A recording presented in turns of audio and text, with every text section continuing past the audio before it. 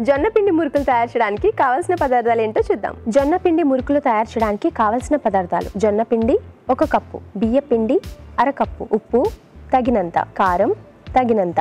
వాము ఒక tea spoon. ఇంగువ చిటికెడు. పసుపు చిటికెడు. నూనె డీప్ ఫ్రైకి సరిపడా. జొన్న పిండి మురుకులు తయారు చేయడానికి కావాల్సిన పదార్థాలు చూసాం కదా? రాజుగారు స్టార్ట్ చేద్దాం. ఓకేనండి. సో ఫస్ట్ ఏంటంటే మనం డీప్ ఫ్రై కాబట్టి ఆయిల్ వేడి పెట్టేసుకున్నాం ఓకే. అలాగే ఇక్కడ కొద్దిగా జొన్నపిండి కాబట్టి కొంచెం వేడి నీళ్ళు వాడుతున్నానండి. ఓకే.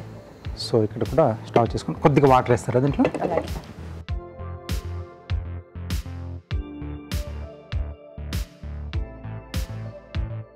సో ఈలోగా మనం ఒక బౌల్లో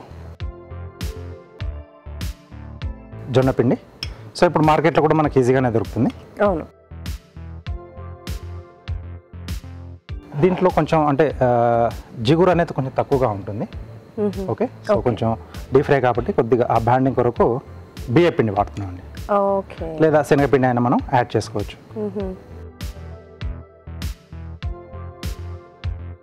సో మామూలుగా వేసుకునేది వాము.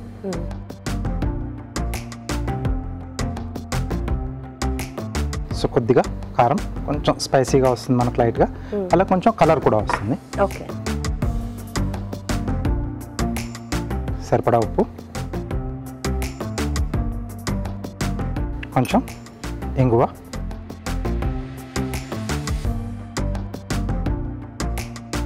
కొద్దిగా పసుపు ఓకే.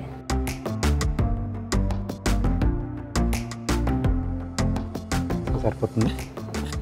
కొంచెం వేడైతే సరిపోతుంది. కొంచెం వేడైతే సరిపోతుంది. సో జనరల్గా మనకి జొన్న రొట్టెలు చేసేటప్పుడు కూడా కొద్దిగా వేడి నీళ్ళలో వేసి పిండి కలుపుకుంటూ అవును.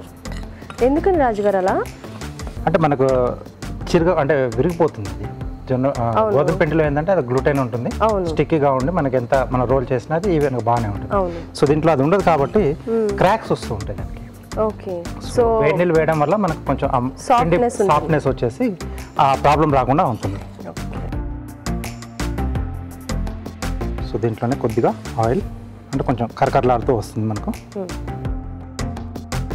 సో కొంతమంది ఏంటంటే వనస్పతి కూడా వేసుకుంటూ ఉంటారు. సో అంత అంత సజెస్టబుల్ కాదు. ఓకే. సో అది కొంచెం మెల్ట్ చేసి వేస్తారు. కావాలంటే ఆయిల్ కూడా కొంచెం గోరువెచ్చగా చేసి కూడా యాడ్ చేసుకోవచ్చు. నెయ్యి వేసుకోవచ్చా? వేసుకోవచ్చు బట్ కొంచెం కాస్ట్ అవుతుంది ఆ, ఓకే. సో ఆయిల్ పర్లేదు మనకి. ఓకే.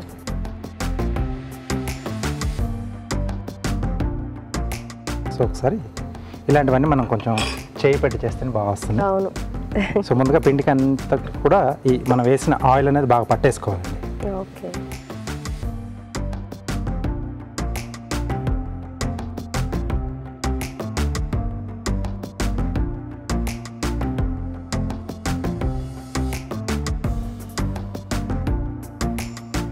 చూసుకొని కొద్ది కొద్దిగా మనం.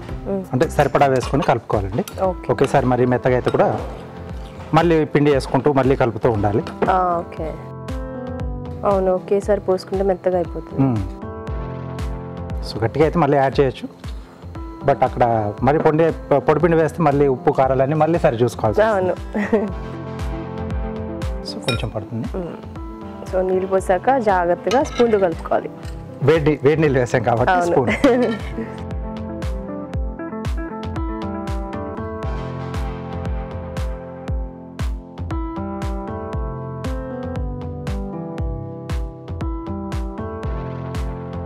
సో ఆ జంతికల గొట్టంలో వేస్తాం కాబట్టి దానికి తగ్గట్టుగా మనం తగ్గట్టు కొంచెం లూజ్గా ఉండాలి. అంటే ఆ చిన్న చిన్న రంధ్రాల నుంచి మనకు బయటికి రావాలి కదా? ఓకే. ఓకే? సో ఇది సరిపోతుందండి? ఓకే. సో ఆయిల్ కూడా మనకు వేడెక్కిపోయింది. మ్మ్. సో ఇలా మూడు రంధ్రాలను తీసుకున్నానండి. మ్మ్. సో ముందుగా మనం కొంచెం అంటే పిండి ఈజీగా మనకు మూవ్ కావడానికి కొద్దిగా ఆయిల్ లోపల అప్లై చేసుకుంటే. హార్డ్గా అనిపించదు మనకు. ఓకే. నెక్స్ట్ ఇలాంటిదే తీసుకోవాలా? ఇంకా వేరే డిజైన్స్ మన డిజైన్ మన వస్తుందా? ఇష్టం. మన ఇష్టం. ఓకే కొంచెం సన్నటిది కూడా వస్తుంది కదా? స్టార్ షేప్లో కూడా వస్తాయి. అవును. సో మన ఇష్టం. అంటే పిల్లల్లో ఉంటే పిల్లల ఛాయిస్ని బట్టి చేసుకోవాల్సి వస్తుంది.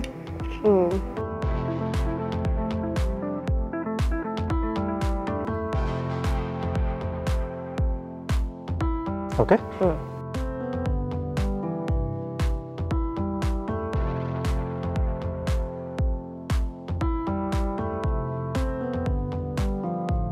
సో ఒకసారి వేడైన తర్వాత మనం సిమ్లో పెట్టేసుకొని కొంచెం ఆ స్లో ఫైర్లోనే చేసుకుంటే సో లోపల వరకు కూడా బాగా మనకు అది ఉడుకుతుంది. తర్వాత కరకరలాడుతూ వస్తుందండి. ఓకే సో మీడియం మీడియంలో రావాలి ఒకసారి వేడైన తర్వాత కొద్దిగా మనకు కొద్దిగా తగ్గాలి. వేడి. అది మెల్లిగా అలా చేస్తూ ఉంటుందంటే బాగా వస్తుంది. మరి ఎక్కువ వేడి పెట్టేస్తే పైన మనకి కలర్ మారుతుంది లోపల పచ్చిగా ఉంటుంది.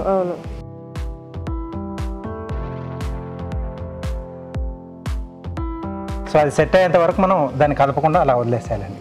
లేకపోతే మనకు అది విరిగిపోయే ఛాన్స్ ఉంటుంది. కొంచెం కావాలి. ఆ తర్వాత మనం తిరిగేసేసుకుందాం. ఓకే. సో దీంట్లో మనం కావాల్సిన కొద్దిగా నువ్వులు కూడా యాడ్ చేసుకోవచ్చు. నువ్వుల బదులుగా ఇప్పుడు మనకు ఉల్లి గింజలు కూడా ఉంటాయి కదా ఉల్లి విత్తనాలు.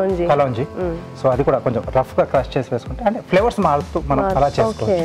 బాగా వస్తుంది. డిఫరెంట్ డిఫరెంట్ ఫ్లేవర్లలో మనకు అలా బాగుంటుంది. సో ఒకసారి దీన్ని మనం తిరిగేసేద్దాం. ఓకే. సో ఇలా డైట్ చేసే వాళ్ళకి కూడా ఇలా స్నాక్స్ అంటే అమ్మో స్నాక్స్ వద్దులే అనుకుంటాం కదా.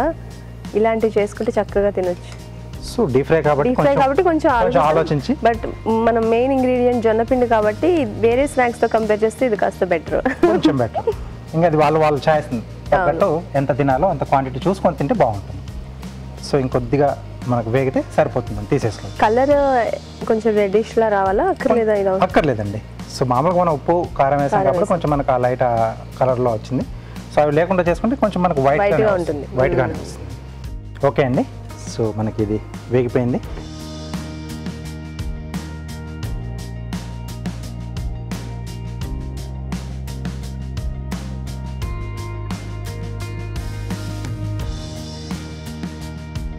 ఓకే. కొంచెం మనకు ఆ వేడి తగ్గిందంటే కరకరలాడుతూ వస్తుంది.